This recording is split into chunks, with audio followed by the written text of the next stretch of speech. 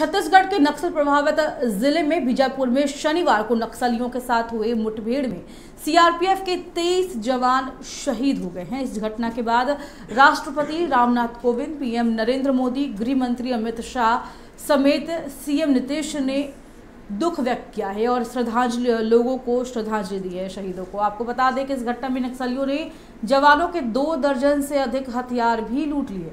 यहाँ तक कि नक्सलियों ने जवानों की जूते, कपड़े भी नहीं छोड़े।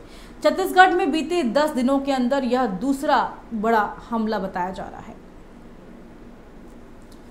इस खबर पर ज़्यादा जानकारी के लिए वरिष्ठ सहयोगी मनोज नारायण सिंह फ़ोन लाइन पर मौजूद हैं। मनोज जी, इस पूरी घटना को हम अगर देखना चाहें और इस बारे में बात करना चाहें तो क्या लगता है कि एक पकड़ जो होती है छत्तीसगढ़ में नक्सलियों के खिलाफ, यह कमज़ोर होती जा रही है क्या? देखिए मंजूर अभी जो घटना घटी है, बीजापुर जो सीमा क्षेत्र है, बीजापुर जिला और सुकमा जिला का जो सीमा क्षेत्र है, सुकमा में जो ये ये इनकाउंटर हुआ है नक्सलियों और और सुरक्षा बलों के बीच में, अभी जो आज का जो अभी अपडेट अभी है, वो बस्तर क्षेत्र के डीआईजी सुंदरराज पी ने बताया है कि डीआरजी के आठ जवान सीआरपीएफ कोबरा बटालियन के सात जवान एसटीएफ के छह जवान और सीआरपीएफ के बस्तरिया बटालियन का एक जवान का शव बरामद हो चुका है। कुल 22 शव बरामद हो चुका है और एक जवान कोबरा बटालियन अभी भी लापता है। और जिस तरह से भूपेश बघेला जो छत्तीसगढ़ के सीएम हैं, उन्होंने कहा है कि नक्सलियों की भी काफ़ी क्षति हुई है।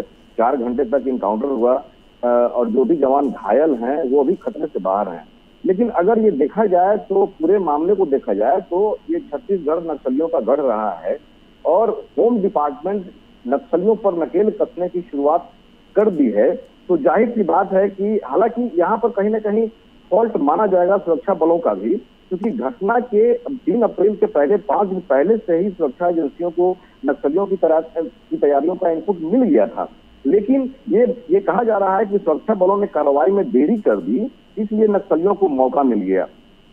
तो एक बड़ी चूक मनोज जी क्या इसे एक बड़ी चूक मान सकते हैं? क्योंकि इससे पहले भी लीड मिल रही थी जवानों को कि वहाँ पे नक्सली छुपे हो सकते हैं और किसी बड़ी घटना को अंजाम देने की कोशिश में है। तो एक बड़ी चूक है प्रशासन की ओर से इसे मान सकते हैं? देखिए तेईस मार्च को शहीद दिवस के अवसर पर भी नारायणपुर में आईडी ब्लास्ट कर नक्सलियों ने अपनी तैयारी का संकेत दे दिया था। लेकिन जो पुलिस प्रशासन है या सरकार है उस पर खेती नहीं थी। तो एक तरह से कहा जाए तो ये वाकई हैरानी करने वाली बात है कि बस्तर क्षेत्र में भारी संख्या में सुरक्षा बल तैनात किए गए हैं। फिर भी इतनी बड़ी घटना को नक्सलियों ने अंजाम दे दिया। तो वाकई ये हैरानी ये हैरानी करने वाली बात है। हालाँकि अमित शाह का वहाँ पर दौरा होना है। छत्तीसगढ़ में सीआरपीएफ के जवानों से उनकी मीटिंग होनी है। तो हालाँकि अमित शाह ने कहा है कि जो भी जवान शहीद हुए हैं, उनकी शहादत बेकार नहीं जाएगी। और अमित शाह ने कह दिया है होम डिपार्टमेंट भी इसकी तैयारी में जुट गया है कि नक्सलियों पर नकेल कसा जाएगा। बघेला, हालाँकि वहाँ पर कांग्रेस की सरकार है, बघेला, भूपेश बघेला वहाँ पर सीएम है, और वो भी कह रहे हैं कि नक्सलियों को काफ़ी क्षति हुई है। लगभग दस बारह जो नक्सली है वो मारे गए हैं। लेकिन ओवरऑल ये कहा जाए तो जो छत्तीसगढ़ नक्सलियों का गढ़ है, वहाँ पर नकेल कसना सरकार के लिए बहुत बड़ी चुनौती पहले से ही रही है, और आज के डेट में भी चुनौती है। और जिस तरह से नक्सली वहाँ पर अपना पाँव पसारे हुए हैं जो जो। मनोज जी इस तरह की नक्सली हम लोग को लगातार अब कवर करते रहे हैं और काफ़ी नजदीकी से देखा है आपने इन तमाम चीज़ों को। अब क्या लगता है कि क्या कुछ रणनीति अपनाई जा रही है जवानों के प्रशासन के द्वारा नक्सलियों पर अंकुश लगाने के लिए? क्या कुछ किया जा रहा है? देखिए जिस तरह से नक्सलियों का जो यहाँ पर जो जो अपडेट है जो नक्सली जो अब अपना आक्रमण करने की जो उनकी रणनीति है, उसमें उन लोगों ने चेंजिंग किया है। ऐसा इस घटना के बाद में लग रहा है।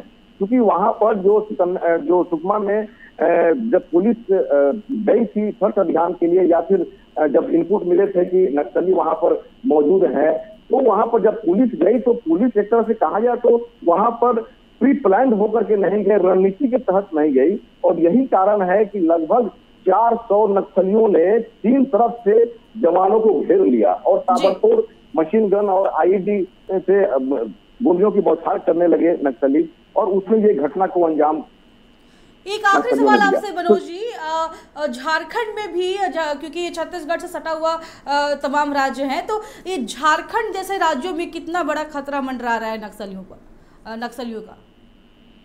देखिए जहाँ जहाँ पर जंगली एरिया है जहाँ पर जंगली एरिया है और जहाँ पर पहाड़ी एरिया है वो नक्सलियों के लिए सेफ़ जोन माना जा माना जाता है। बिहार में भी जिस समय 2009-10 के में जब चार पुलिस कर्मियों को पुलिस कर्मियों को नक्सली उठा करके ले गए थे कि मैं कर लिए थे तो जमुई के जंगल में वहाँ पर उन्होंने बंधक बनाया था, नक्सलियों ने बंधक बनाया था। सरकार के लिए बहुत बड़ी चुनौती हुई थी, क्योंकि बिहार, झारखंड जो सीमा क्षेत्र है, जमुई का जो इलाका है, वो एक दूसरे से सटा हुआ है और वो पूरा का पूरा पहाड़ी और जंगली एरिया है। तो जहाँ जहाँ जंगली एरिया है, वहाँ वहाँ नक्सलियों का का जो का जो वर्चस्व है वहाँ छिपने का। और एक, एक दूसरा मामला ये आता है कि इंटर स्टेट मामला भी हो जाता है। तो इसलिए नक्सलियों का सेफ़ जोन माना जाता रहा है।